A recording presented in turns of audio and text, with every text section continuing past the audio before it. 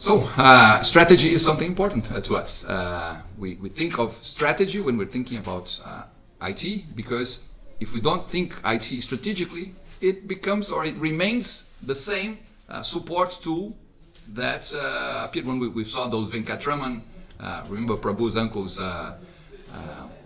papers from, from, when, from Monday, when Venkatraman and Henderson were were saying that we should align technology to business, they were really thinking we should think of a, a strategy for the IT departments or for the, the use of IT in organizations that would match the needs or match the interests of the organization.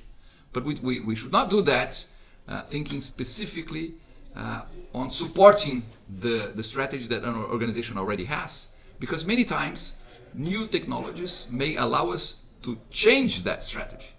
And this is why when we were discussing those the different triangles, you know, where does uh, uh, strategy start? Sometimes it started with the upper management uh, uh, being a, a, technology visionary and saying, look, uh, we need to, to implement spe specific um, technology in our organization because this technology will make us stronger in our traditional business proposition. Other times you have the technology, the CIO, uh, the, the, technology leader, going there to the, to, to the business and, and saying, look, there is technology here that allows us to change our business, to do, do things differently. Uh, not, not to do things differently, but to do different things.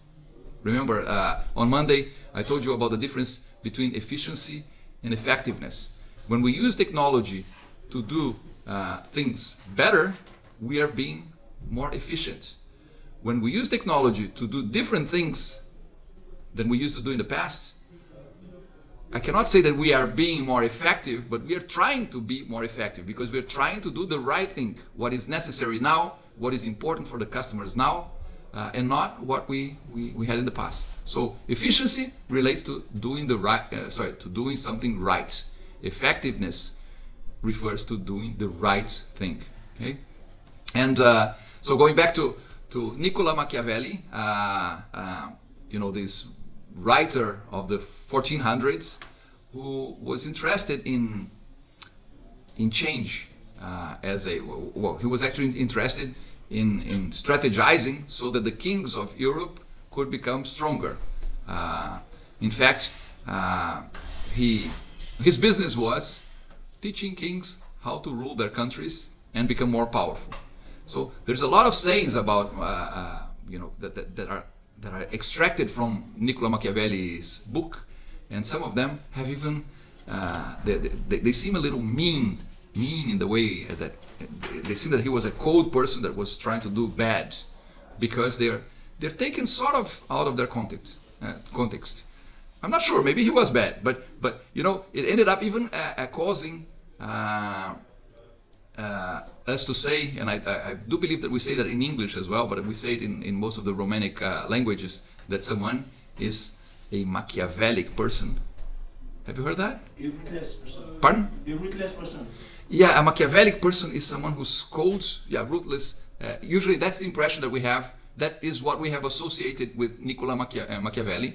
Uh, and then you, you may think, gee, the two most uh, published books that we've ever had in the world were the Bible and the book in which someone is, is teaching how to do mean things. No, in fact, my reading, and of course I'm reading Machi Machiavelli um, 500 years uh, later. So again, as we, we said, there is a, this beauty in, in our technologies that they can transfer knowledge from one time to the other, but they don't transfer the environment together. So I'm reading what Machiavelli uh, wrote in, in 14 something and thinking with my 21st century mind. Uh, so it's difficult to really know if he was Machiavellic in that sense, or if he was just a strategist, maybe a, li a little cold strategist. Because I'll tell you some of the sayings that we'll show in the in the in the book that you will, will probably say, well, he was definitively Machiavellic. For example, he he, had this saying. Uh, the, it, it, when you do the good, uh, do it slowly. But when you do the bad, do it fast. Do you understand that? You know, if you have to do something bad to people, do it at once. If you have to do good things, do little by little. Politi politicians love that, right? Because of course, uh, politicians love to give people some support all the time so that they go there and vote for them, so that they remember them. If they do good only once, people will not depend on them, uh, and then people will not. They think that people will not remember them. So politicians uh, you know, love, love Machiavelli in this uh, narrow-minded uh, way of uh, maybe they just get that from and from, from, from him. There's another uh, saying by Machiavelli that is very well known is the the goals or the, the goals justify the means or something like that. You've probably heard that already. Mm. That's Machiavelli, right? Uh, and uh, do they, you know, do our goals justify any means? I mean, if I want to um, succeed in, in business and, uh, and, and, there's another guy there that is disturbing, this, this is in my, way, I just, you know, get him out of my way. Is, is that justifiable? Probably uh, in, in the way that we think uh, today, uh, it isn't. Um, well, in the 1400s, Europe was still a lot of small kingdoms fighting for their survival, and it was very. Um, I would like to say tribal because we the, the, the connotation here is it, it is, but it, it, was like different tribes fighting for survival. In fact, right? Uh, although the the the world um, is full of resources. Uh, uh we, many times uh, there are there are reasons for, for people to think that they have to use this, someone else's resources. It's easier to, to get someone else's resources than de develop your own. Uh, well, I don't know. But anyway, uh, Machiavelli had, so, so he's known by some of these uh, sayings, but when you read his book, you notice that what he, he, he was, he, he, was suggesting there is that we plan what we're doing. Uh, and I would say that most of what Machiavelli wrote in his book in the 1400s still fits. We can still use in planning. We don't have to be Machiavellic in the plan, uh, but planning means thinking what will happen depending on the actions that we take. Right? So if in the 1400s uh, he thought that uh, you know if, if, if, you have an enemy uh, and you, you, you, need to I mean if, you, if you're involved in a fight you know just uh, well it's, it's better than, than, than you kill your enemy than you turn you leave there leave him there and turn your back because he will come and kill you that was maybe uh, related to his saying of do the the, the, the bad uh, in a strong way and, and, and do do good little by little. Uh, it's under if we try to change to to to, to to put ourselves in that in the context in which that book was written uh, it may not be as Machiavellic it is it is it, as it is in our uh, at least in our environment today here in France or in, in, in parts of the world where we do, do not accept violence, for example, as a, a way of solving our problems. Right? But uh, but I but I, I, do suggest that you read it. It's, it's, you, you, can read this book in probably in two or three hours on a Saturday afternoon uh, on the web. Uh, and you will see that a lot of what we think in business, a lot of what we think in planning the development of technologies relies on Machiavelli, the same way as a lot of what we think here in the Western countries relies on the, let's say, on, on, on, on our relationship with the Bible in the past, more than in the present, right? Our societies here are not well as religious as they were in the Middle Ages, uh, but we still we still uh, do have um, uh, those ideas as ideas with which we think other ideas. The same way as someone there may be someone in this class who's a Muslim, for example, uh, and and you will say the same way as for a Muslim, the ideas that that uh, are there in your sacred uh, books are, are the ideas with which you think your lives, even if you don't think you're a religious person. Right? For example, I'm not a religious person, but I still value a lot of things that I, I acknowledge that they relate to a religion that was uh, with my family for or, or for, for, for, hundreds of years or so. So we, we shouldn't uh, uh, we, we should never forget how strong those ideas with which we think other ideas are. I don't know if you've thought of that before, but our our ideas, our ideas are a technology. Well, I told you already that our that, that speech is a technology. Are, are, our, do you think that our, our Some, ideas? uh, can I go home because I'm not feeling maybe. Sure, go home, Uh, because I, I will check the record. Yeah, yeah, I'm, uh, it, it will be recorded. Don't worry, Alina. Hope you hope you feel better. Um, can you, you know, um, we, we should think of that. Uh, most authors don't include ideas as a technology because they, they, they say, well, no, ideas is something that that would happen to humans even if we didn't have our technologies. Maybe our ideas would be um, would be weaker or would be uh, I don't think think how difficult it would be to, to think if you did- didn't have a language to structure your thinking right? So our ideas would be probably more uh, closer to, to how we believe that the ideas of some of our animals or our pets are right? We notice that there is intelligence there but it's not intelligence that is capable of sophisticating uh, uh, its you know well if, even the use of that intelligence to, to do something different to what uh, it is simply basically living right? But so, so ideas are probably not uh, uh, the ideas themselves are not a technology. But what about frameworks the way we structure our, our ideas? Are they a technology? Models right? I don't think that they are. And notice our way of learning is full of models. Our way of deciding is always based on models. We have models for everything. We create models, and after we have models, it's difficult for us to, to escape them. Think, for example, about this technology, if it is a technology, uh, a calendar. How come we are all here at the same time, in the same room? Wh- What made this happen? It's you know we have remember I told you in the 14, in the, the, the 1200s and the 1300s I think it was the 1300s when the Benedict, Benedictine uh, monkey, monks here in Europe invented the clock they changed the way we thought about uh, well they they made us think of progress they made us think that we should go forward. They made even thinking about strategy possible.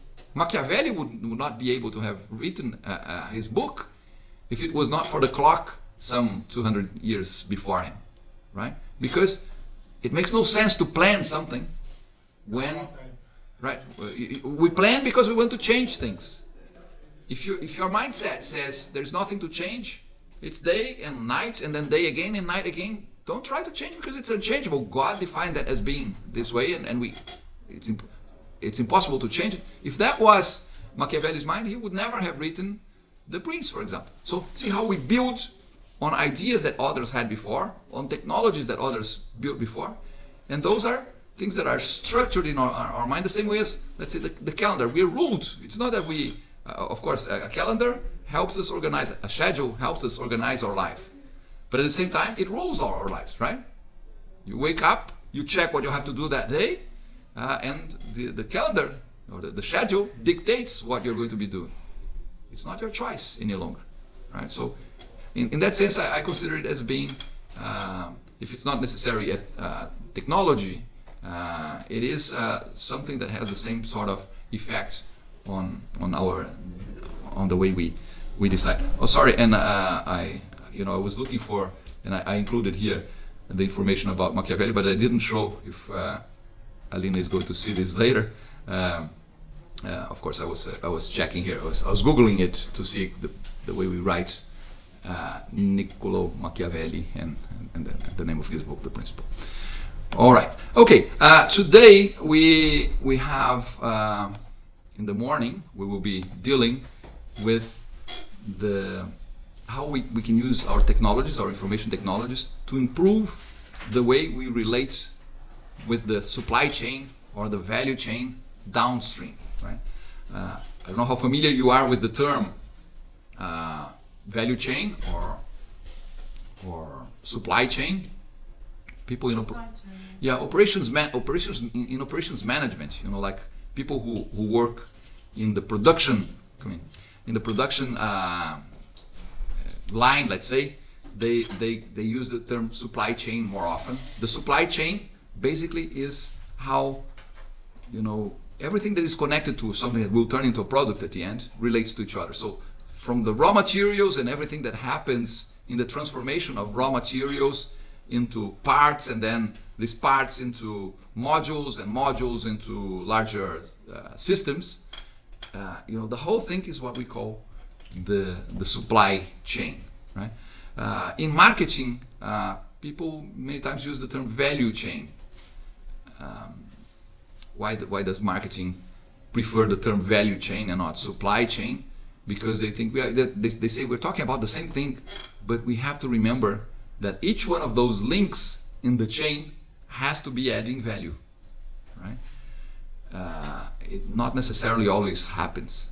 There are sometimes we have supply chains or, or, or even what we would call value chains where there are some links that are destroying value somehow in, in, in the sense that they put some effort, there is energy spent, there is uh, materials that are incorporated to, to, the product, and that's not perceived as being more valuable by whoever is going to buy that product at the end. Okay, but anyway, uh, we, we, we, we, could have written here supply chain as well.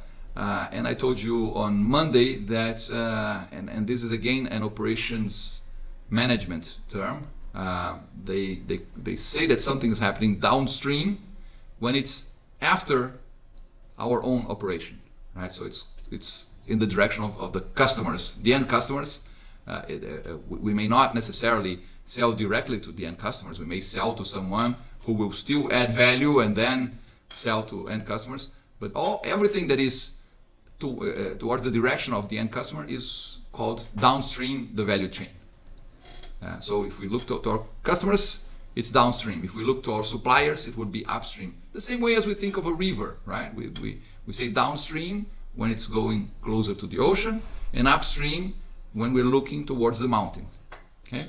Uh, so today, in, uh, uh in, in the morning, we'll be focused focused here in understanding how we can use technology to improve value in this uh, uh, in the value chain. I had organized here two papers for, for us to have as reference. The first one is by uh, Regis McKenna. He's a marketing person, uh, 1995. So it's going to be 30 years in a couple of years. Uh, last year, I still had one of my undergraduate students coming to me and saying, I, I showed them this paper, and he said, Look, uh, professor, I'm doing uh, this internship in, in, in a company and I think my my boss could benefit from reading this. Do you think I could send? Uh, well, just do, do, you think it would be reasonable to, to just make a copy of this and, and, and give it to him? And I said, sure. Just we always have to think how we deal with our superiors in our organizations. Sure, just try not to make it uh, seem that you do not trust what he's doing, and you're saying, look, this guy says, uh, this guy here is going to tell you what you should be doing, because he will. He, then he will laugh at you and say, uh, look, you're bringing me something that was written 30 years ago. That's obviously not good for us any longer, right? So don't put yourself against uh, your boss. Try to, to, to do it in a way that he, he thinks that this is a something additional to what he already does and, and that you believe that this will enlighten, enlighten him or her better, right? Um, I don't know if you ever saw this American um, film think it was the um, a Greek, a Greek. Uh, I don't know if that's the, that's the title in English. This is the problem, but, but it was Greek, Greek, Greek wedding or something. It's it's a, a comedy. Let, let me check if if I find it here and if this is the if this is the name of it. Yeah, it seems to be Greek Greek wedding. No, uh, Greek wedding movie. Well, it, it appeared. Sorry, it appeared here in in in, in Portuguese, but uh, yeah. So so there is there is. Uh, no, I'm not sure if this is it. Uh, but anyway, I'm not sure if this is the the, the one because it, it's an older uh, movie, uh, and uh, and the, but, but basically the Greek wedding was the mother the mother and the daughter trying to plan the daughter's wedding, but making sure that the father thought that all the ideas they had were his ideas. because he was a bossy uh, Greek uh, father and he wanted to be the one in control, let's say. So most of the the, the, the, the film is them thinking, okay, oh, this seems great, but how are we going to make this? Your father think that he, this, this was his idea, and then then they they're planning. See, they read Machiavelli for sure, right? They, they were planning and thinking, if we go there and tell him, you know, we want to do it this way, he's going to say no. I have the final ruling here. I, it's going to be my way. And as you're saying that that's the way you want, no, it's definitely going to be different because I cannot admit that you have the the, the best ideas. And then the, the, the whole film was them, uh, or uh, uh, was them planning how to make the boss, let's say the father in this case, think that he was the one in control.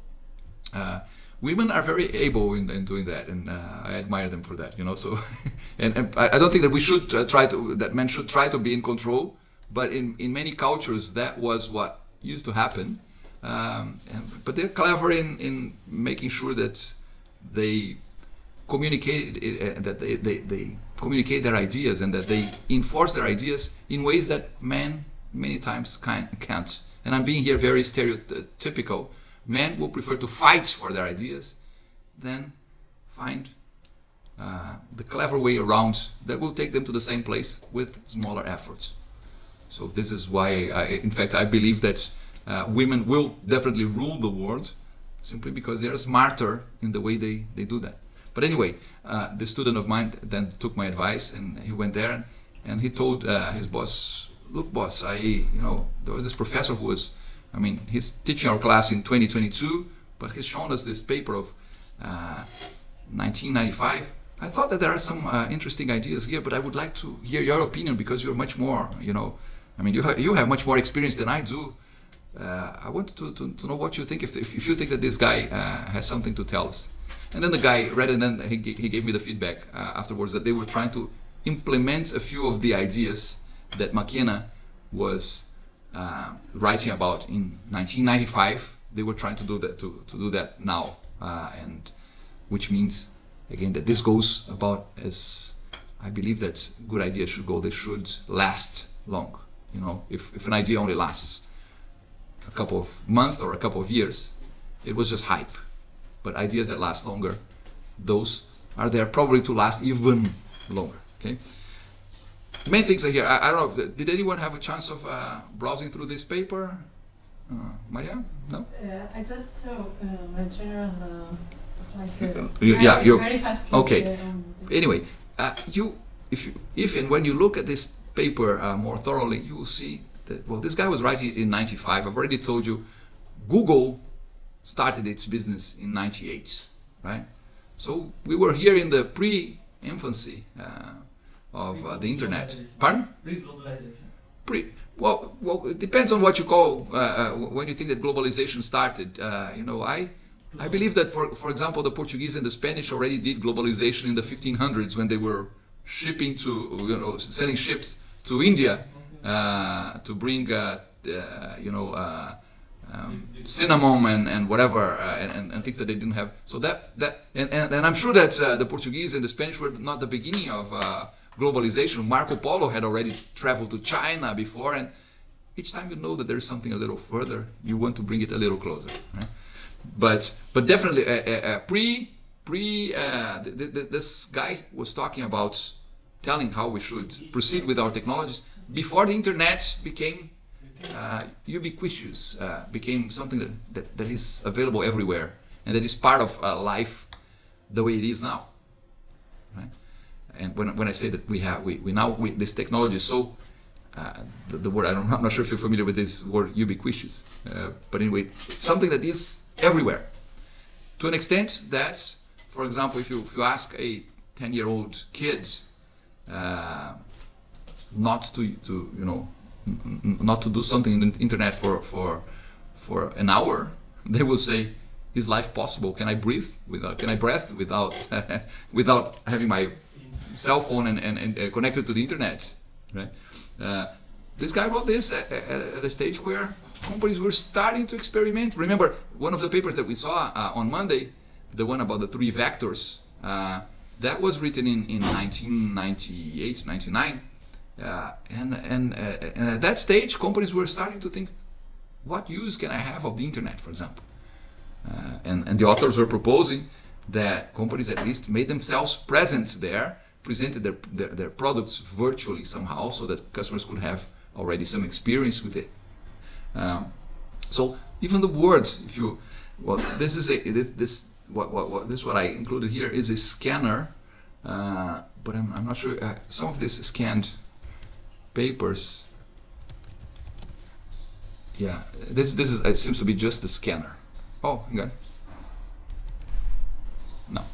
Yeah, some of these scanned uh, papers at least went through some uh, optical character recognition and, and, and, and you can search, right? I'm, I'm not sure if I've done this for this paper here. But anyway, if you look, if you read, you will see that the word internet only appears once or twice.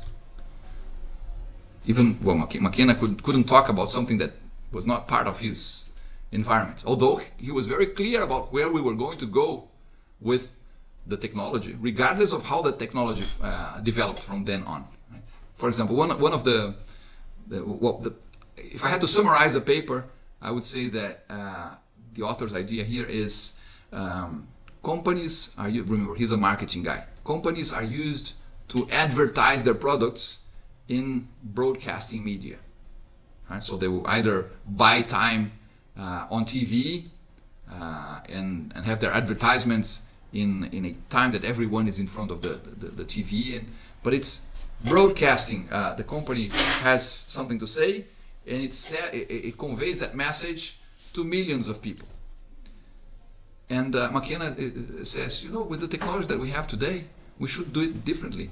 We should try to build a dialogue with each one of our customers. So the, the, the meaning of the, the, the idea of the whole paper is build a dialogue. Maybe for us in 2022, uh, we, we can already think of good examples of companies that build a dialogue with their customers. Or maybe not, I don't know. Do you have any any company that you think that has a close relationship with their with their customers by means of its technological relationship with the customer? Mobile phone. Mobile phone company. Mobile phone companies. Uh, how do you think that they build a dialogue with you? They send updates.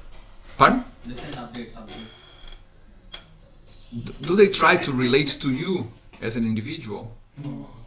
They just, uh, they I just send push requests and Yeah. push push uh, notification every time. I, I think that they still need to read this. Yes, that's it. because uh, when, when we enter, for example, uh, for any seat, uh, for a commercial company, for example, a company uh, who sell uh, electronic products, let's say. So there is a dialogue which appear directly. How can we help you? How can we help you? Yeah. Uh, notice that the building the dialogue does not necessarily have to be, Maria, uh, you know, uh, putting you in, in a chat with uh, with uh, a human at the other end, right? But but that's that, that's an attempt to to to to, to, show the, the customers that you are involved, even if the company has millions of customers, and many times they put a robot to talk to you, and then you feel angry because the robot is not able to solve your problem. So they, they have not heard the message, at least not in full.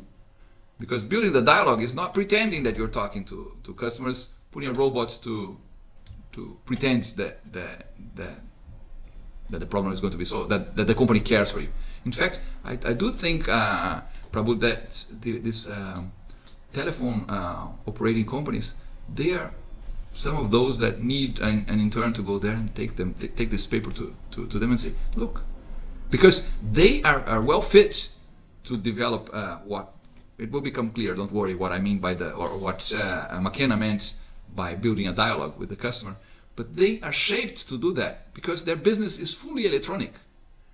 So uh, they are able, they are able, and, and they do collect a lot of information about ourselves.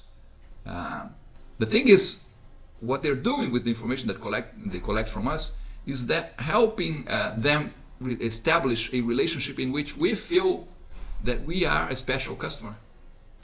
In general, uh, the, the, the, you know, telephone operating companies, I think that they, they, they were never able to do that. I um, I do not recall any relationship that I have had with any uh, uh, telephone operating company that I thought, well, these guys are great. You know, sometimes their service, the quality of their product is good for a while.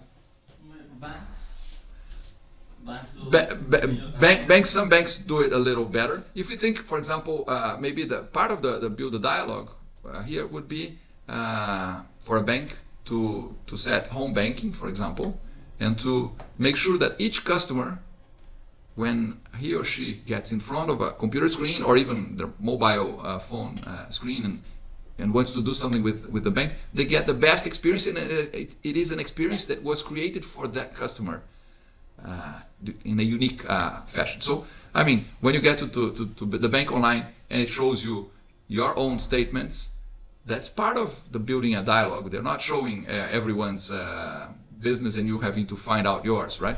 When they notice that you are, let's say, that you some, sometimes they can even notice that you you bought something big based on, on, on the on the flow of uh, on the cash flow and they, they, they understand that something is happening they may offer you a loan or they may offer you uh, some uh, special way of organizing your finance and and that's being done specifically for you. Of course you're going to say it's not a human that is at the other side the, the dialogue doesn't have to be between you and a human at the other side because that that may be unaffordable right? It, it, there's no problem if it's a robot at the other side. There's no problem if it's uh, uh, um, um, I don't know some some some some sort of uh, machine learning uh, technology uh, or some artificial intelligence.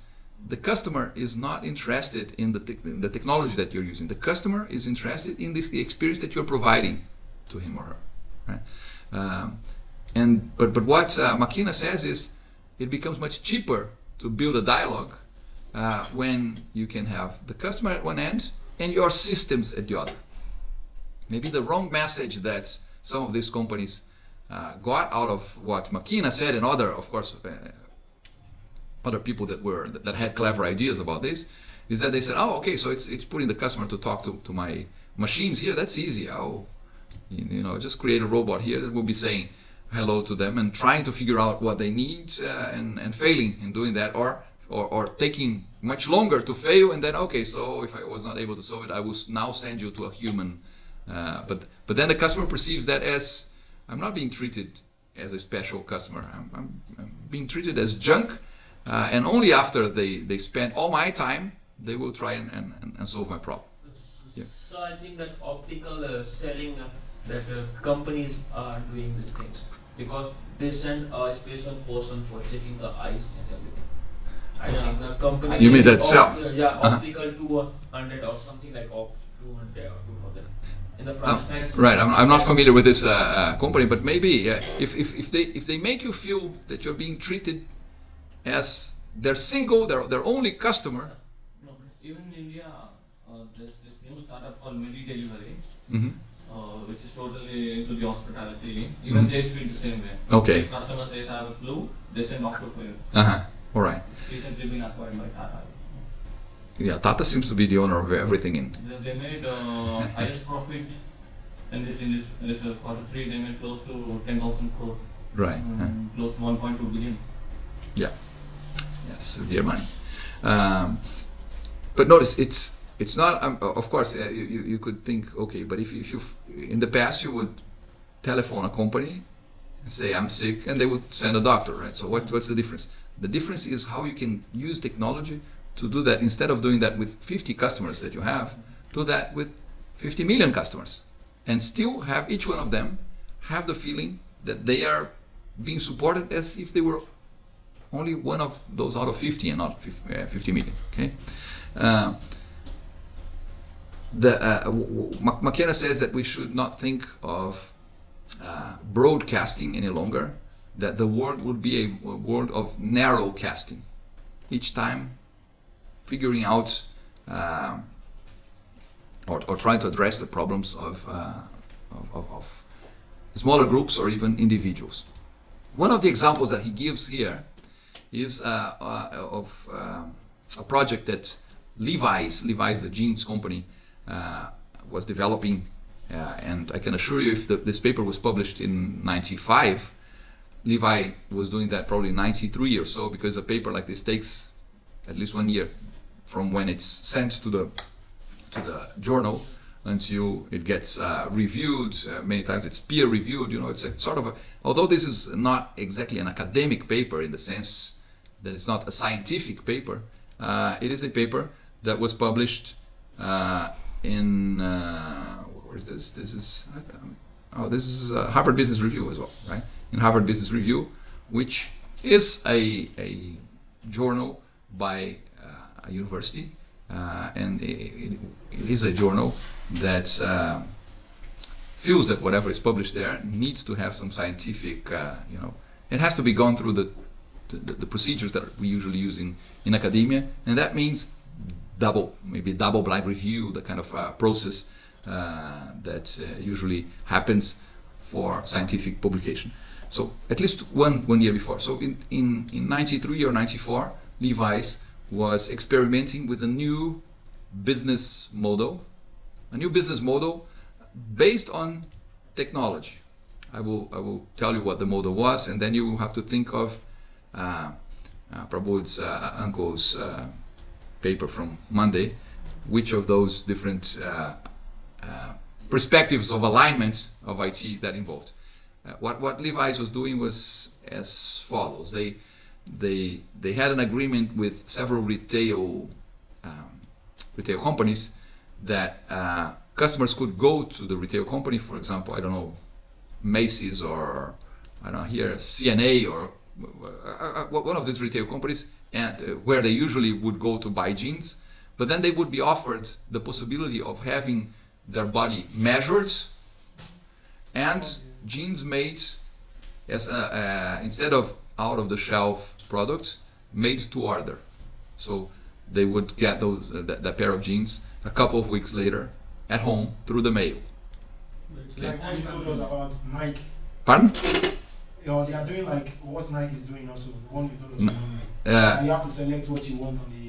Exactly. Uh, well, at this stage, notice they were not doing it in the internet Internet. because so they uh, let's say you went to, to a C&A shop here. I think they, they do have here in France. They, do, do have C&A, right? Or or I don't know one, one of these retail shops, H HM or uh, you would go there. They would take your measures, uh, and then you would pay for the, the product, and you would get it two weeks later at home. Uh, that would be convenient. Maybe not as convenient as getting out of the shop straight with your your pair of jeans, but two weeks later you would get it at home. The, the, the, but the good thing is it will be perfectly fit to you. I don't know how your bodies are. Mine doesn't seem to fit any of the models that they have. So uh, I usually either have uh, problem with I have very long legs, so either I have a problem to fit my waist, uh, and, and maybe it's, it's loose here or it's short. It's, sometimes I, I find it difficult to to find find jeans that are exactly my size. So this is this is a clever idea, right? Um, uh, not everyone is exactly the shape that Levi's would think we are. Uh, okay, uh, they did that. Uh, we have to think it, it's a change. It's a business change. What makes it possible? Technology makes it possible because the the retail shop gets the measures included in a in a terminal, and that information goes directly to the manufacturing plants, Levi's manufacturing plants, uh, and it's uh, it's included there in the production line, and the product is produced. And at the end, the product is ready, and there is a, already a, a stamp there saying, well, this should be sent to, the, to this address. Uh, technology makes that possible because all the, the required information is in databases uh, that, that that are consulted by the by the production process uh, itself, right? Um, regardless of how automated that is, it doesn't matter if it's if it's too automated or not. But the fact is that technology makes that possible. So the so so it's technolo- technologically feasible. Uh, the customer is happy because the customer is going to be to to get um, you know customized jeans. The Levi's is happy because it has the same advantage that I told you uh, on Monday about you know when when you turn what used to be a sh- off-the-shelf product into a made-to-order product, I have I I, I, I changed the the cash flow. The customer pays before I produce. That's very that, that's something that is very attractive to any company because the customer becomes the the the the, the fund uh, the, uh, the funder or funder in the sense that in the sense that they, they, they will be the ones that will uh, sponsor almost sponsor the production right uh, the company doesn't have to put all a lot of money in the production before the customer says what uh, he or she wants.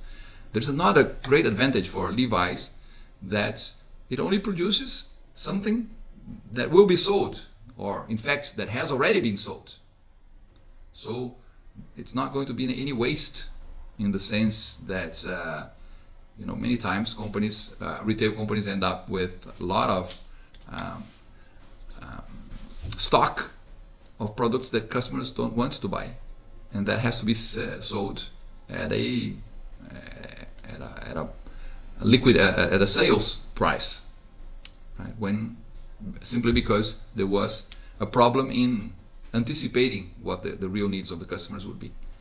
But the problem, this problem of anticipating will always happen, right? We do not have a crystal ball. We don't know exactly what the customer will want. So if we, if we want to produce and send to the market and wait for the customer, there's always going to be some waste or some or some part of that production that will turn into sales at the end because nobody wants it.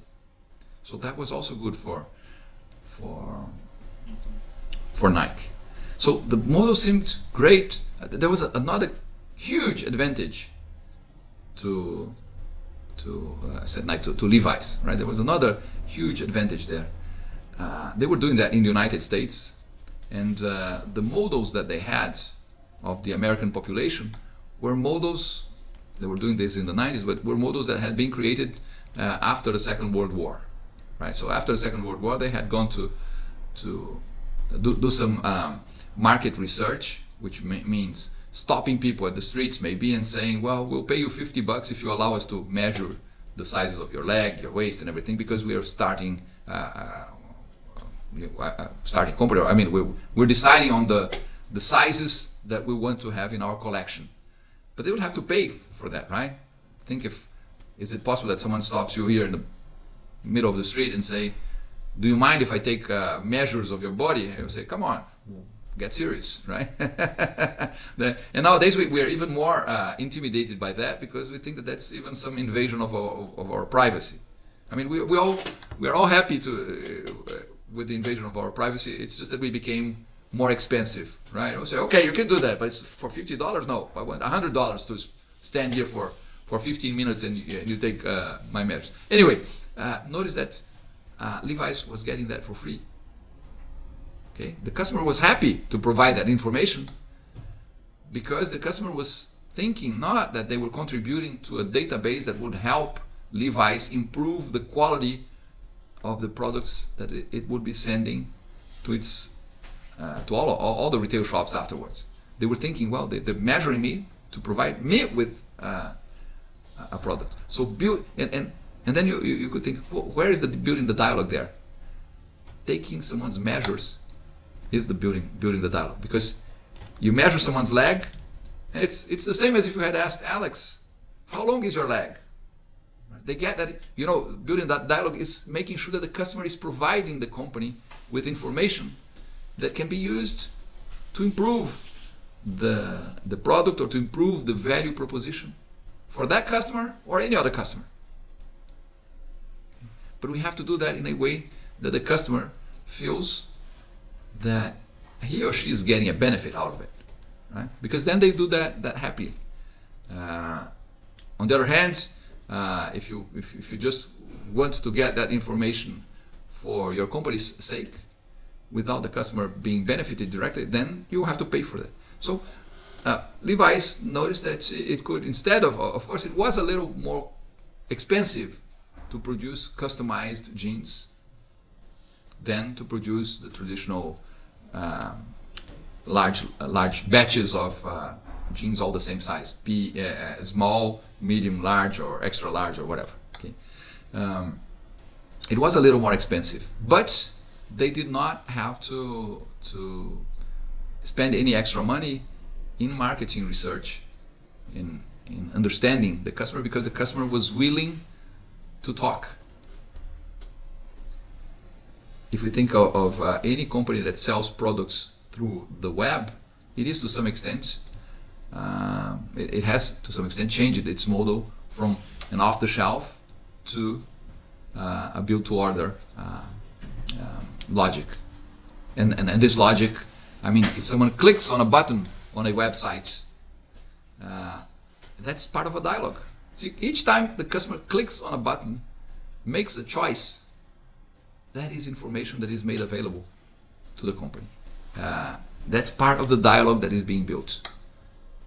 Remember that, that, uh, in our previous class I told you that when you go to a, a tennis shoe shop, try some shoes there, don't buy anything, you did not build a dialogue.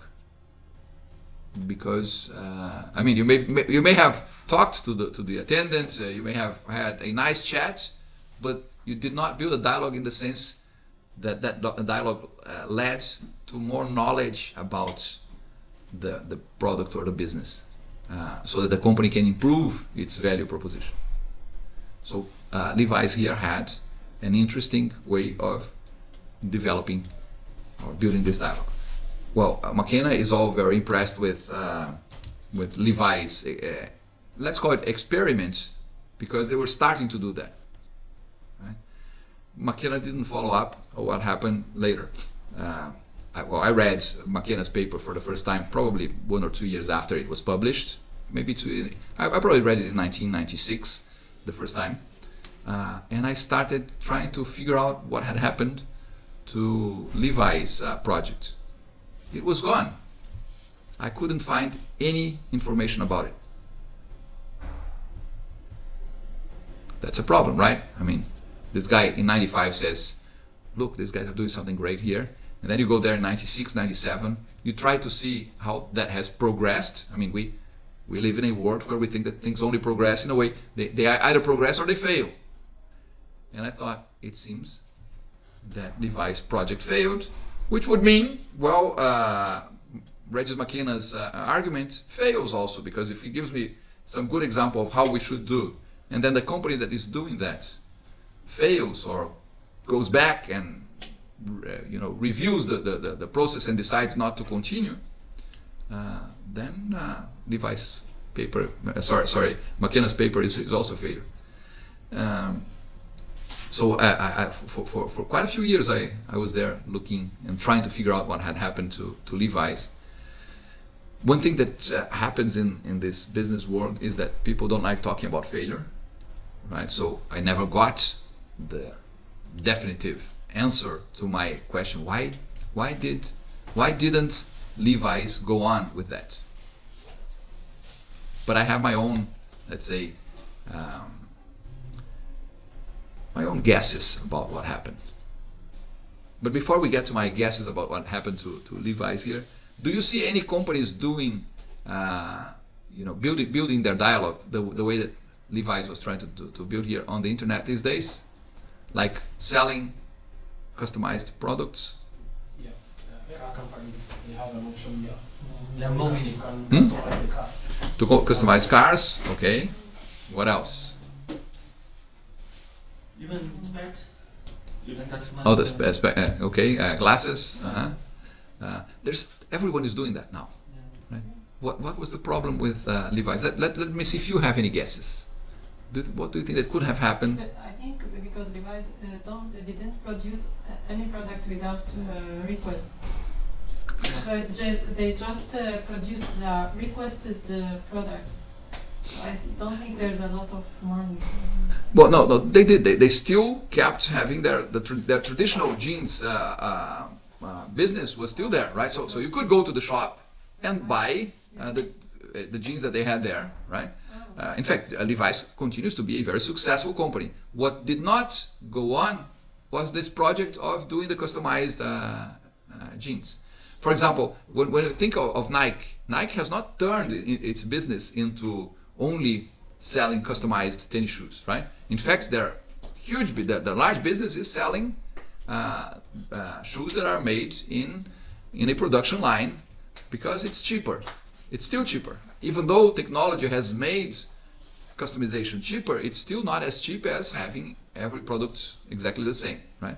But uh, in the case of of uh, Nike, uh, well, Nike was is a more recent uh, development. Nike started doing this in the the the, the 20 uh, I think I think the first time I saw it was maybe 2005 or so, right? So more than 10 years after. So there's there, there may be one of the reasons maybe this one. You know, sometimes you, we could even say Well, the market was not prepared for that.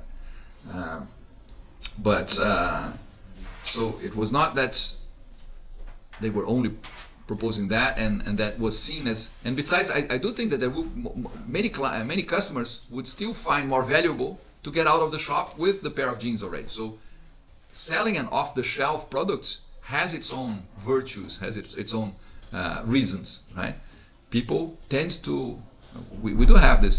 If we can have the product straight away it reduces it reduces uncertainty right? We know i have it with me i have already paid and i have the product with me. There's uh, the, the level of risk is, is smaller. Uh, you can use that, that pair of jeans the same day you don't have to wait. So there are, there are also benefits for and, and there will be people that will not want to wait.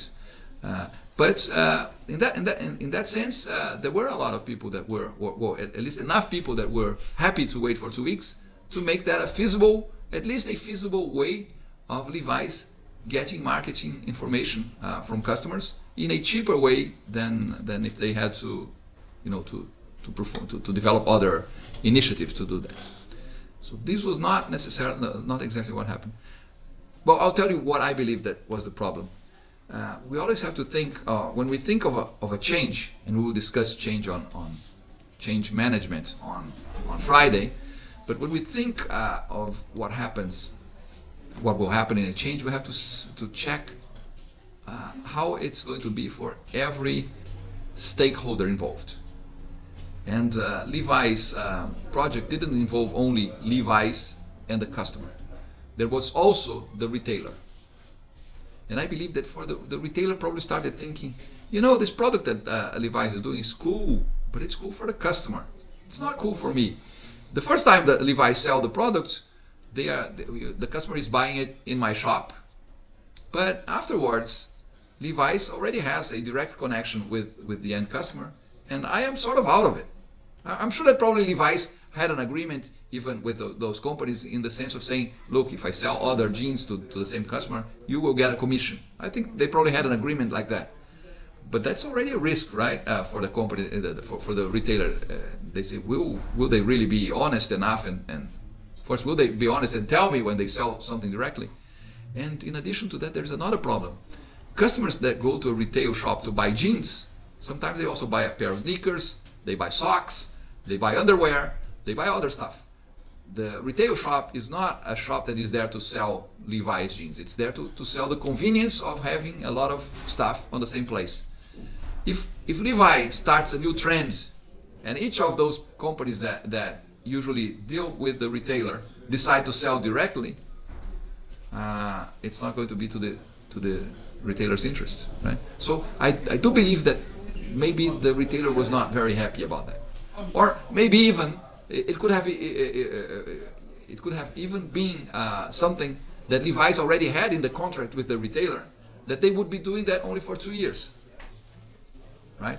So and their intention was really to build the dialogue with the customer, exactly like McKenna uh, was uh, recommending here, uh, to get build, build a dialogue, to get information, to get measures. And notice that I told you that the, the models they had were models that were that, that had been uh, produced uh, right after the Second World War, and uh, in the 1990s, I can assure you, the, the North Americans were much bigger than they were before. Right? Now, they're starting to, to become fitter again, but for quite a while, uh, North Americans, due to the kind of uh, uh, foods that they that they eat, the, the fast food uh, uh, concept of their culture, they were getting bigger and bigger, and probably uh, Levi's needed to to re, reset their their standards of how many pants of each size that they should produce, or or, or how were those sizes different to what they had in their traditional models. Right?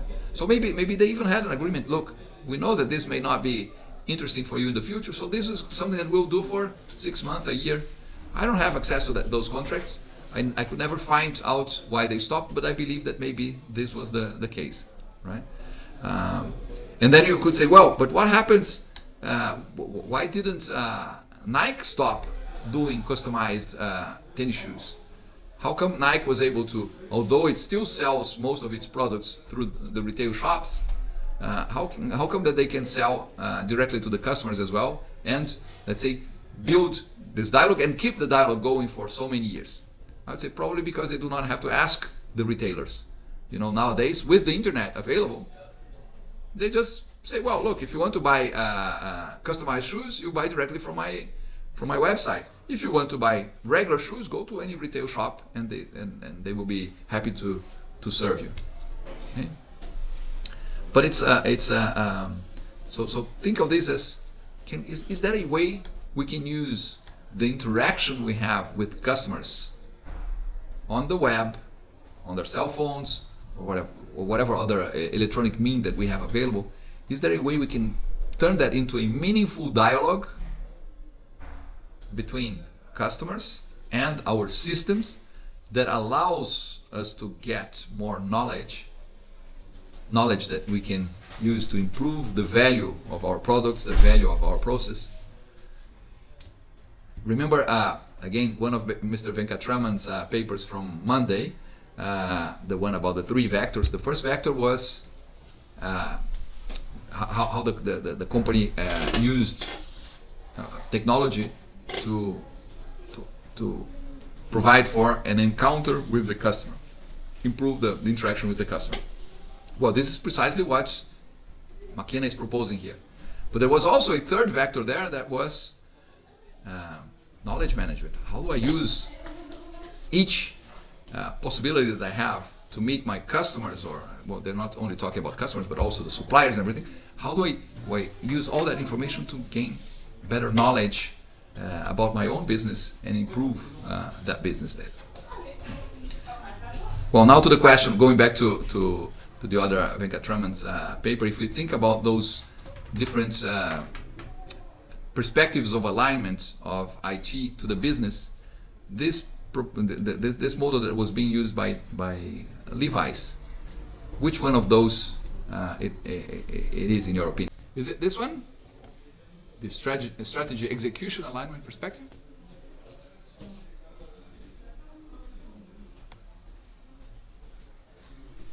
Is it this one? Technology transformation alignment perspective? Competitive potential alignment perspective? Or service level alignment perspective? What do you think? Hmm?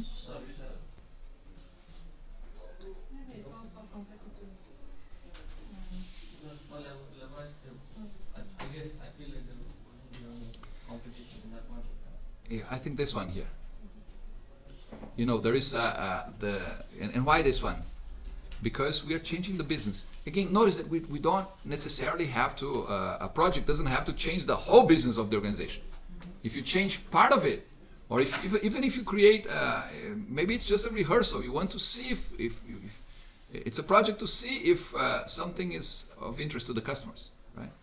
Uh, in all those cases, what's happening here is you're, it, it's a different business, right? Selling, selling um, jeans um, in a in a made-to-order uh, approach is different to selling jeans that are made to stock, that are made to, to, to be bought out of the shelf.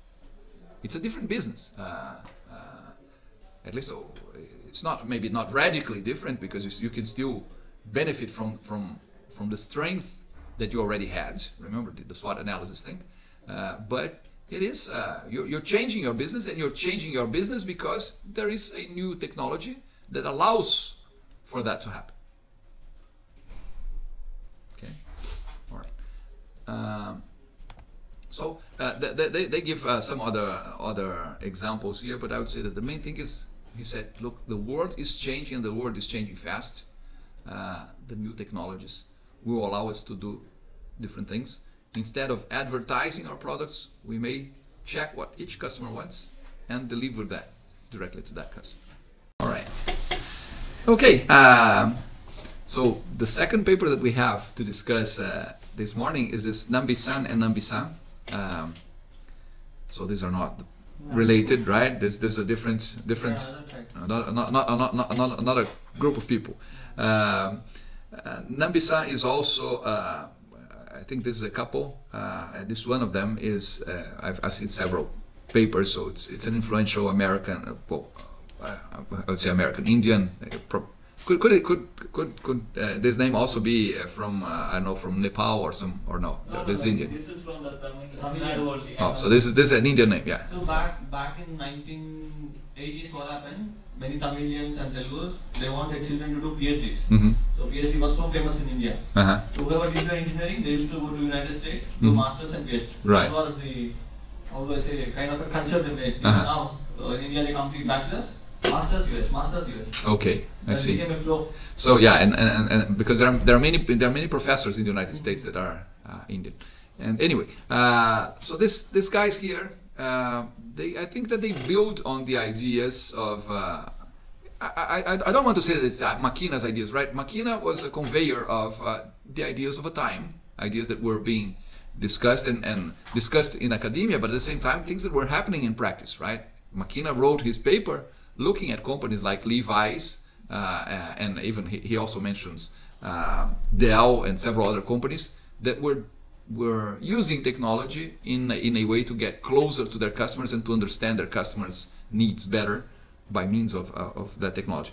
Uh, so it's it's never it's not McKenna's ideas. McKenna was someone who organized those. Of course, he was the clever person who realized what was happening and somehow systematized it. Uh, some, somehow you know wrote uh, about it. And and when Nambisan and Nambisan do it in you know some almost 15 years later, uh, they they curiously do not refer to McKenna's uh, paper. Uh, I don't know if it could could be that they, they were never aware of McKenna's paper directly. Again, I'm not going to say here that McKenna is, has changed the world, right? Uh, has depicted something that was happening in the world.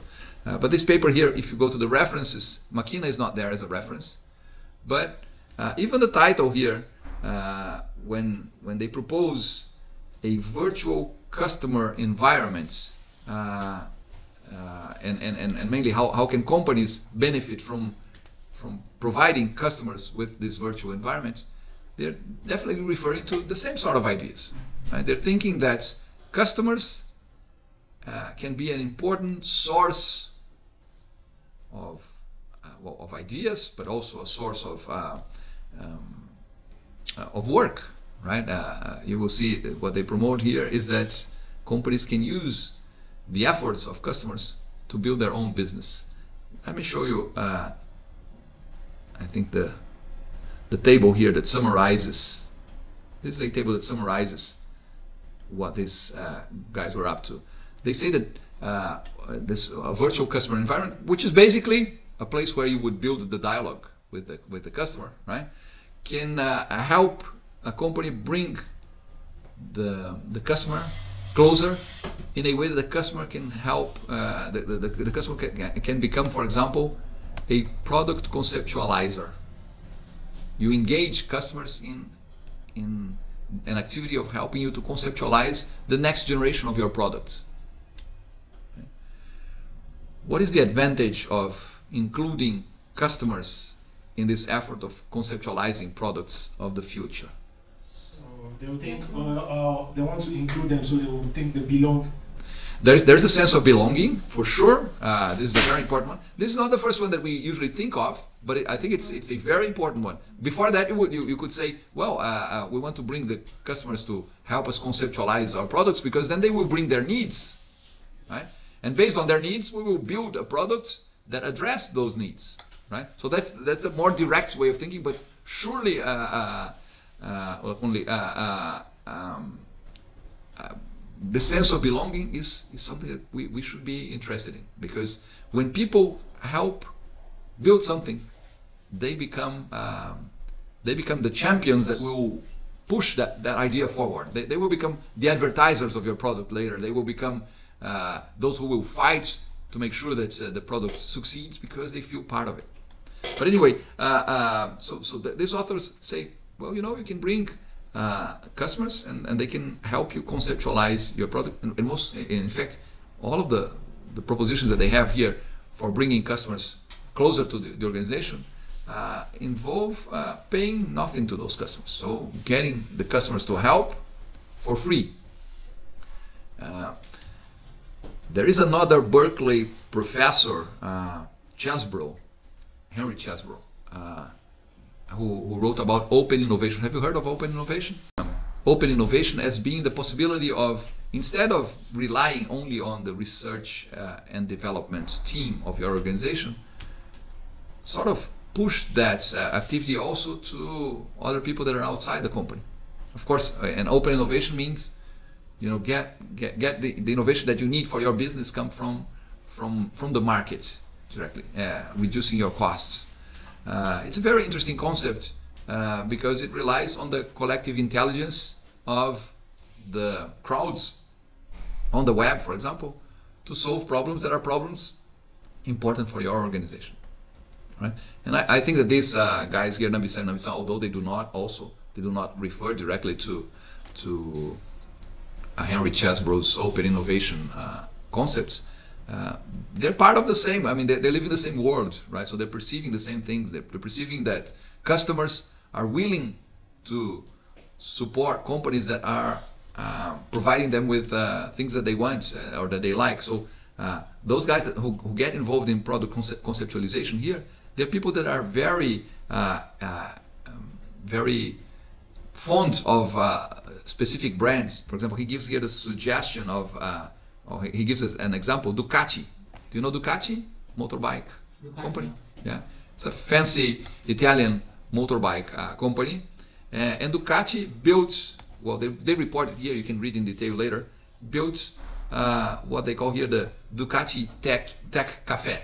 It's a virtual thing, right? It was uh, in, in 2008 when, they, when these guys were researching this, it was a virtual environment in which uh, Ducati fans and or, or, or, people who had Ducati uh, bikes um, would meet and exchange ideas and exchange ideas ideas with engineers of uh, Ducati uh, that could lead to to improved products in, in the future. Okay.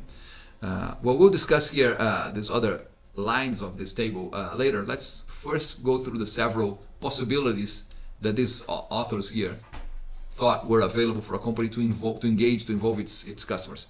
Uh, you can also involve customers as product designers. Conceptualization, design, are they the same thing? No, conceptualization happens first, right? Conceptualization is mainly concerned with the ideas. With uh, after you conceptualize a product, then you start designing it. So the, the design is is where you, you make the dreams feasible, right? When, where you, you, you check all those things that were conceptualized and see which ones of them you can turn into reality. Uh, and uh, over here, um, in, in this more let's say, tangible uh, activity, uh, they give us the examples uh, of BMW and the way BMW created a customer innovation lab in which customers got engaged in helping design features of uh, the product. Now we're talking about features of the product. So it's different to conceptualization that is more general, it's dreams, ideas for the future. Here we're already thinking of uh, of uh, direct involvement with, with, with the design. Uh, another possibility is turning customers into product testers. I mean, everyone who's already uh, worked with a beta version of some software, what you were doing is precisely this, right? You were helping uh, the company to improve their products while you were using it. So you had the benefit of using it before others, you even felt special because the company invited you to be to be part of their beta test. Um, but in fact, you're working for them and you're working for free, right? Uh, uh, to help them improve the quality of their products. Uh, here they give an example of uh, Volvo's Concept Lab. Sorry.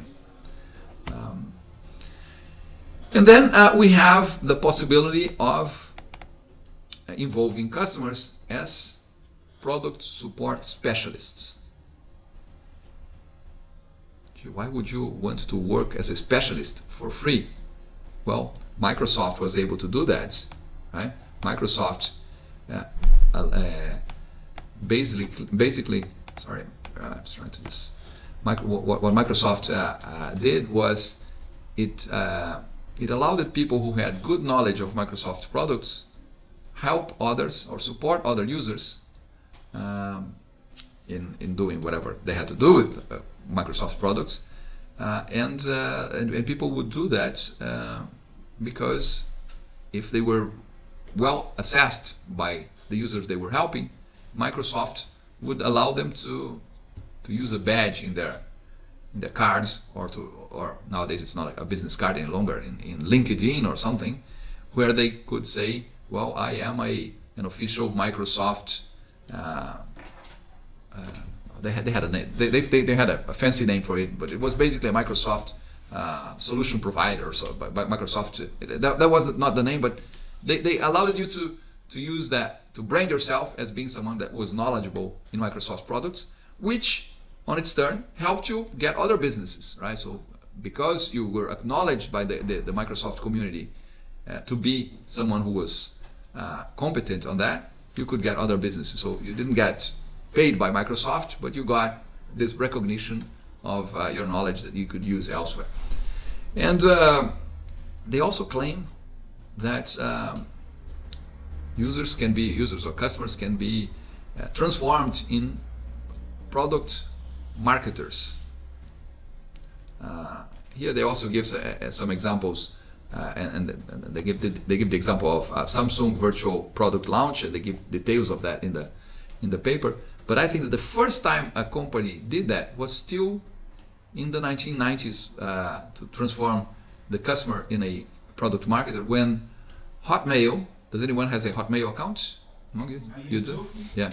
Uh, you used to, but you were probably already a second this uh, a second generation of uh, of, of yeah. users because uh, you probably did not use Hotmail in a time where whenever you sent a mail to someone else, it would at the, the bottom say if you if you also want to have a free Hotmail account, click here. Right. This is how Hotmail started. Hotmail started uh, being a free uh, email provider but using the users that were using the, the, the products as advertisers because whenever you sent an email at the bottom it said if, if, if you want to do like your, your friend there was uh, and if you want to use this click here and you will get a free account. By doing that hotmail became uh, or soon became the, the, the provider with more users in many countries in the world. I remember that Sweden, there were several, the, the Nordic countries, they were all, and they had never spent a cent on, on advertisement. So turning users into advertisers. Uh, uh, of course, users accept that if they feel that they're getting something in exchange. In this case, what they were getting, they were getting a free service. They could not say, well, I, I don't want that last line there right?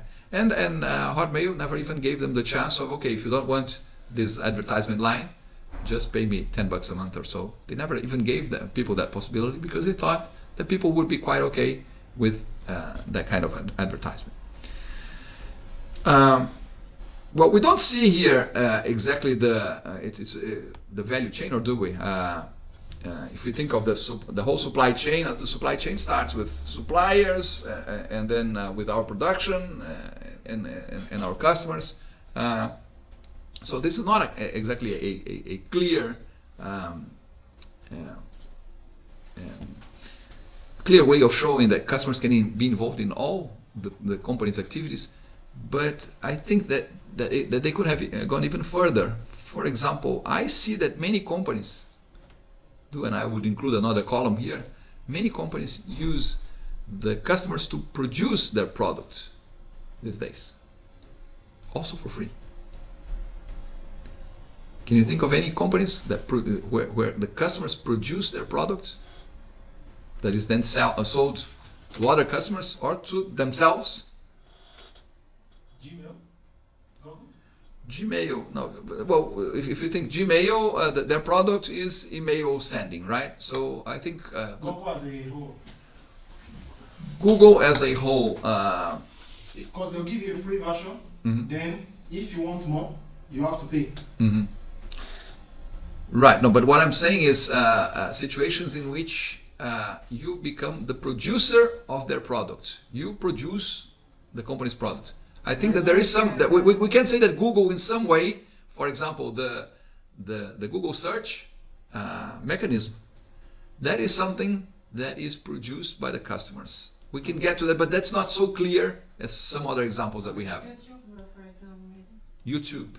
Still under You, you think of YouTube. I mean, you, does YouTube produce any content? No. No. Even And, and, and but we go there for, for the content, right? even Amazon the retailers sell their product. Yeah. But, but, but, but, but I think YouTube is a great example here because YouTube is typically what, what it offers its customers is content. We go there because we want to see the content that is available there.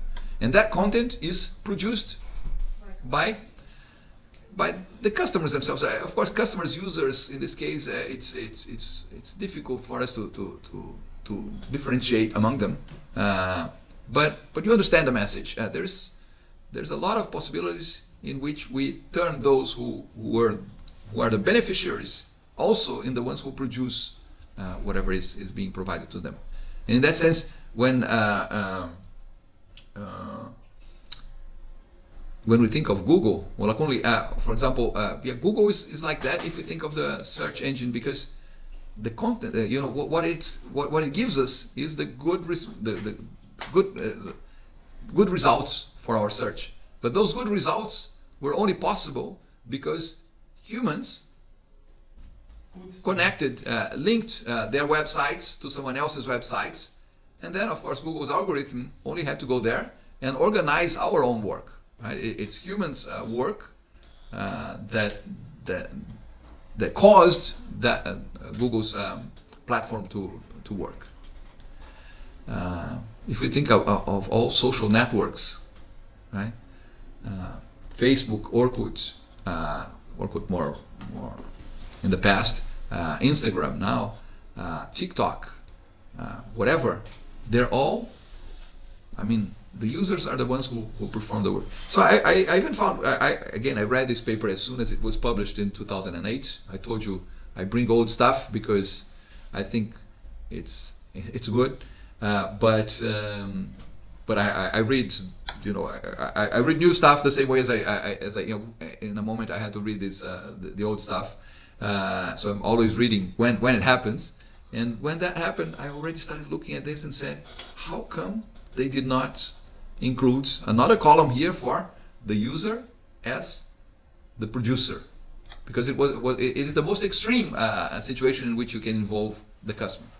And I don't have an answer for that. You know, maybe if I were the editor for this journal, or, or one of the reviewers, uh, and I had noticed this, and I had asked the authors, I find your, your paper very interesting, but it seems that you're lacking one column there. Maybe they would have included, or maybe they have some reason not to have it included. But then we would have to ask to them, and as they're not Prabhu's uh, uncles, uncle and aunt, uh, it's a little more difficult. uh, another thing about this uh, uh, this uh, proposition of them, uh, of course, uh, each when we want customers involved in for in each one of these activities, you expect different kinds of contributions from them. So, for example, for a product conceptualizer, uh, you expect that they will be suggesting ideas for new products uh, or products that need to that need improvements. Uh, when you ask when you, you want the customer to be involved as a product designer, you are more interested that they help you specify that product, provide inputs on the products and, and features, and also design trade-offs because many times engineers, I mean, I mean engineers want to include all possible features that are technically possible. Engineers, in general, they are they are enthusiastic about the technologies that they that they built, so they want to have it there. But customers will only want those those features there uh, if they bring more value than cost. So in this sense, uh, the, the, the, the customer as a product designer can also be very helpful because they may say, well, although you find this interesting, and I find it interesting also, I don't I don't like the idea of having to pay uh, so much more to just have this feature. I prefer not to have it. Uh, the product te- uh, tester is involved with the identification of flaws, of problems, and, and mainly in, in, in prototypes. Uh, the, the customer that is involved in product support is expected to deliver uh, product support services to, to other customers. And uh, when we think of the customer as a marketer, we think of him or her helping to in the diffusion of uh, new product information, shaping peer customers' uh, purchase behavior, and so on and so forth. Uh, although the customer can be involved in several different activities, uh, notice that the, the examples that they gave of uh, companies here, for example, Ducati was able to, or, or was at least was seen as involving customers in the conceptualization of the products. Microsoft is seen as involving customers in the support of its products. Microsoft and Ducati are very different companies, right? Ducati is a uh, is, is a company that sells dreams, right? Uh, I mean, not to everyone, but for those who like motorcycles, you know, when you buy a Ducati motorcycle, probably you're buying freedom, you're buying, you know, air on your face, you're buying some experience. Uh, th- there's something here that relates to probably more to love than the, the relationship that most of us have with Microsoft. I don't know if I had to, to describe my, my relationship with Microsoft, although it's a very uh, a companion of, that I have in life. I, I, I, I, relate to Microsoft every day of my life. Uh, I would uh, not refer as something that out of passion or out of love. It's more maybe out of it could even be out of addiction, uh, but at, at, least it's it's out of well they're there to solve a problem that I have and, and you know. So I wanted you to reflect a bit about how the relationship that we have with a brand or with a with a company uh, will end up influencing the kind of activities that we would be willing to to be involved with. Do you think that, for example, that a Ducati uh, customer would be inclined, inclined to be involved in, in, in customer support for Ducati? Or, I mean, what, what would be more interesting? To be involved in dream, dreaming about the future of the, the, the motorcycle of the future? Yeah. So this is this is not what I want you to notice here is that uh, they were not able to find a company that was able to involve customers in all activities. Because come on, if you were to, to get involved in, in all companies' activities, you would say, hire me. Right? I'm not going to be working for, for free here. But you get, uh, depending on, on, on, on, on the, the, a person's perception of a, a brand, that brand is cap- capable of capitalizing on it on different things. Microsoft, as I said, uh, and, and this matches well the way I feel about it, right? If Microsoft uh, called me to, would you like to help us conceptualize our products? I'd say, I'm not enthusiastic about the next version of Windows. No, sorry. But if they told me, well, Alex, we, we realize that you're, you're someone who knows our products very well, uh, and we believe we have a business proposition for you here. Uh, we, we, we know that you sell your service as a Microsoft uh, solution provider or whatever. Uh, and uh, if you give that kind of, uh, if, if you help us support our direct customers, we will help you with your business. Notice, the, my relationship with Microsoft would be business, very pragmatic. Notice uh, here, the, uh, uh, it's definitely here. Uh, what what what is the, the experience components over here? Definitely, a pragma- the pragmatic com- component is very important. Pragmatic in the sense of, you know, I want a direct benefit out of it. Uh, while over here, well, they, they also included the pragmatic uh, component as being important, but they, they mentioned the hedonic. Hedonic is something that is makes you feel good, uh, related to happiness or, or to enjoyment or whatever. Okay? I, I do think that we can attempt to, to get uh, people involved in more than one activity, but I would say understand your company. Again, we have to understand the business, understand the business, understand the customers, and then decide in which ways you you believe you could uh, or you should uh, involve your customers. Mainly if you want them involved for free.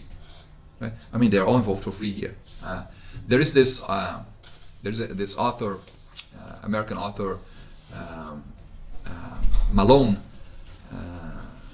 forgot his first name. Yeah, forgot his first name, right?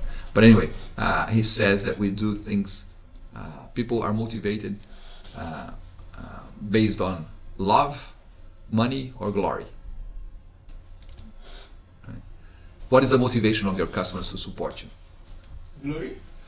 Uh, could be, uh, for example, depends. It depends. For example, for for Ducati, I would say probably love.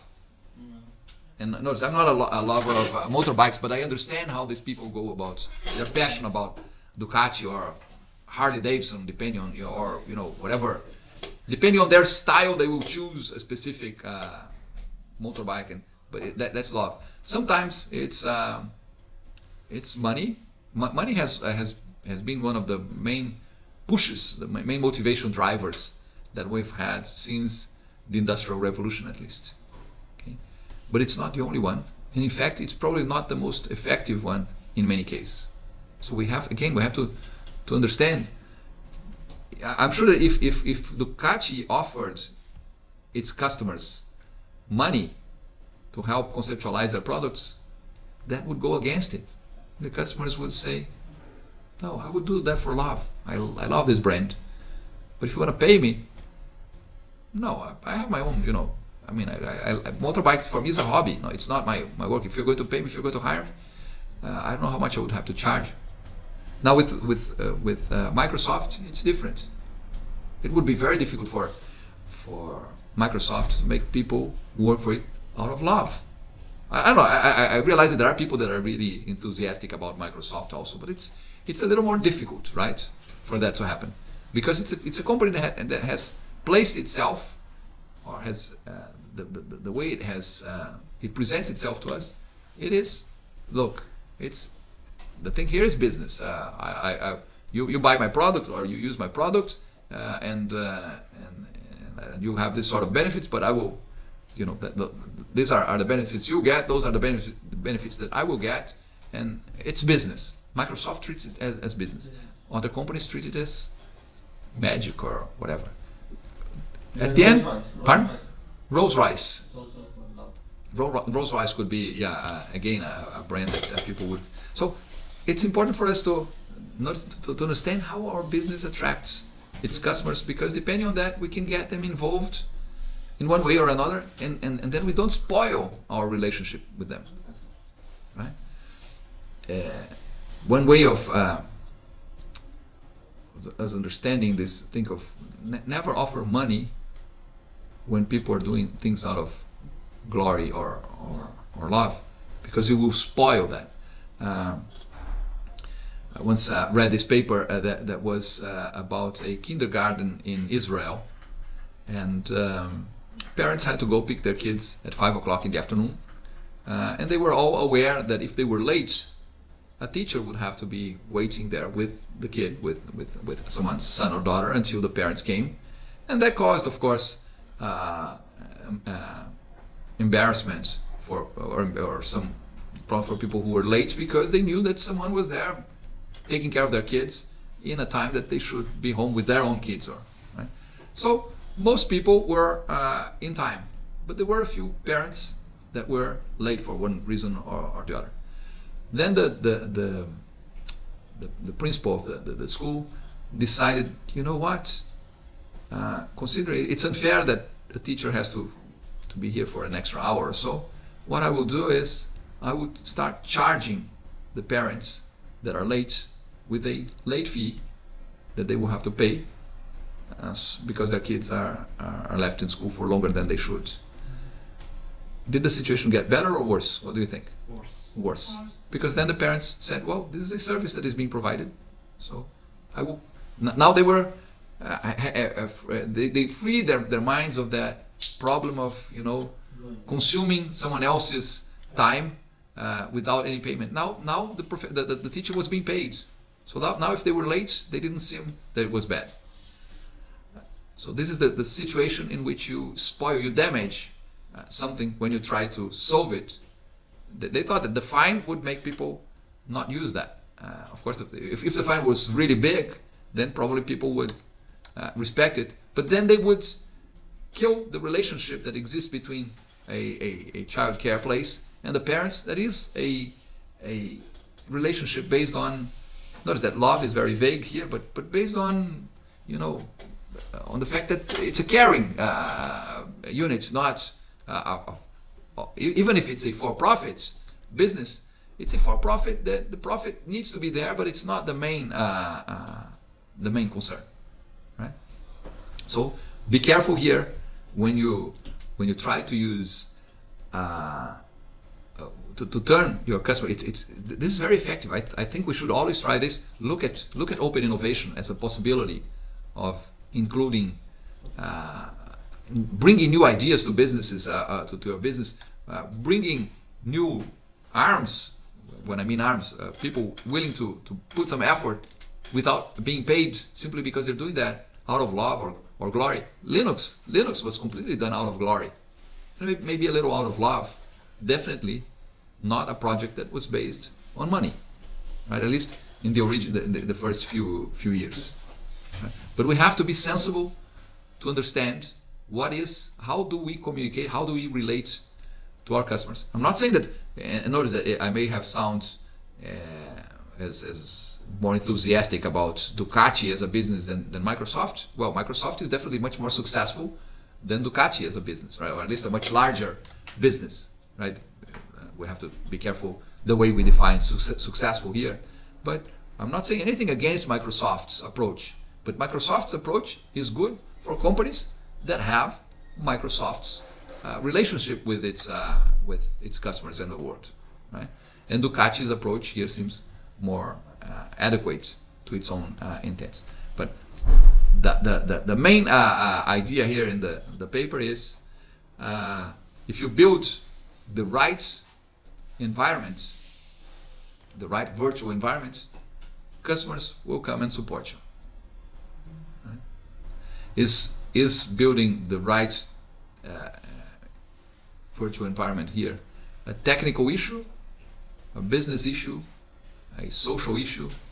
It's probably a bit of all. Right? Yeah. Many startups fail? Pardon? Like many of these startups, startups, Uh-huh. they eventually fail after a certain point of time. The majority of them. Majority of them. Uh, Uh, because they can't scale to higher level. the majority of, uh, of startups fail simply because uh, a new business is, is risky business. It's easier to do something that you know that you already have customers, right? Uh, and, and besides, uh, many startups, it's not that they, they were built to fail. That, that's not the case. Of course, the startup owner, whoever started it and whoever is working 18 hours a day uh, to make sure that it works, of course, they, they have the dream that it will work. But at the same time, uh, being in such a, a new environment, uh, the chances of, of failing are, are high. What happens with startups, uh, mainly the Silicon Valley type of startups, is that many times even the even even the startup owner is is very aware that it's risky business that, that he or she may may not succeed with with the with that business, but they are they're, funded to do that, right? Uh, there are other people that are willing to be their their partners in case they succeed. I mean, it would be good if we could have put some. I mean, would have to be some millionaires, right, or to start it. But if we had put some million, uh, some, some millions of dollars to sponsor Google when it was starting, because now we would have some billion dollars, billions of dollars, right? So, in a in a in a in an environment where there's a lot of money available, uh, what they do is they invest in several of those companies. Some of them will succeed. Even if one out of a hundred succeed, or if, if it succeeds to, to the level of a, a Google or a Facebook or whatever, uh, it's more than enough to to pay for all the other 99 that, that failed. Even US has US investor cap is very huge.